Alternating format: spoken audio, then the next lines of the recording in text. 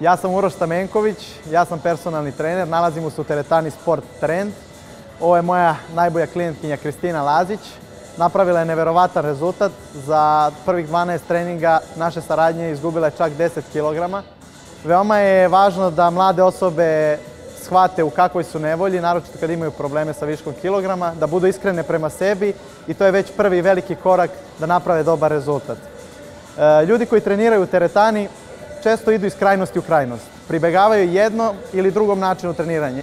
Ili se, često bave aerobnim aktivnostima u vidu kontinuiranog trčanja ili na kardio spravama, bicikl, steper, pa izgube mišićnu masu ili se više forsiraju tegovima, pa svu onu e, telesnu masu koju treba da izgube, na, svu tu telesnu masu oni dodaju još mišićne mase i na kraju naprave totalni kontraefekat.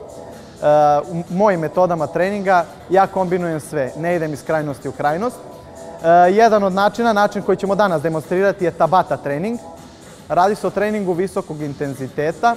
Se ne usuđuju toliko da treniraju na taj način, zato što uh, prilikom anaerobne glikolize, nagomilavanje mlečnih kiselina, dolazi do nus pojava koji na ljude totalno loše deluju. I onda oni čim se osjete loše, oni batale to. Čak se moji klijenti i boje u početku takvog načina treninga.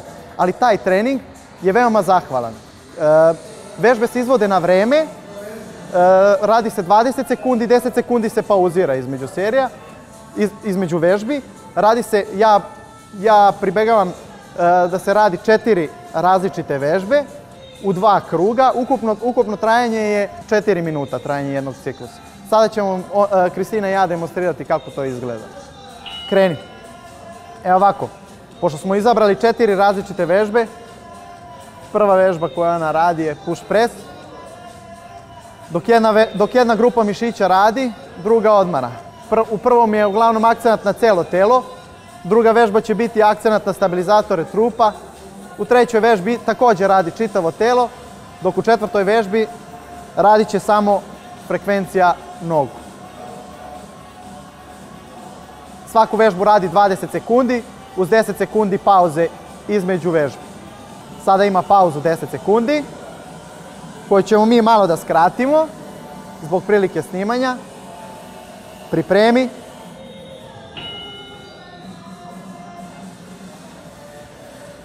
Dakle, jedna grupa mišića je radila, sada radi druga.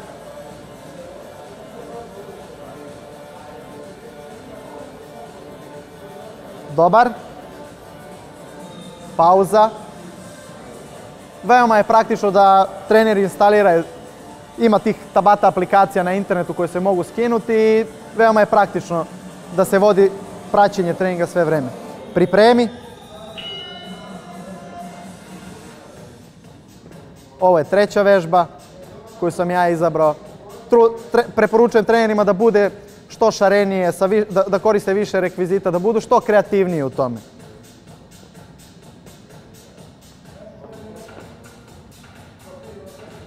Dobar. Naravno, sve se ovo izvodi daleko brže, daleko dinamičnije kada se radi trening. Tih 20 sekundi moraju biti submaksimalnog intenziteta. I četvrta vežba Pripremi. Ajmo. Daj.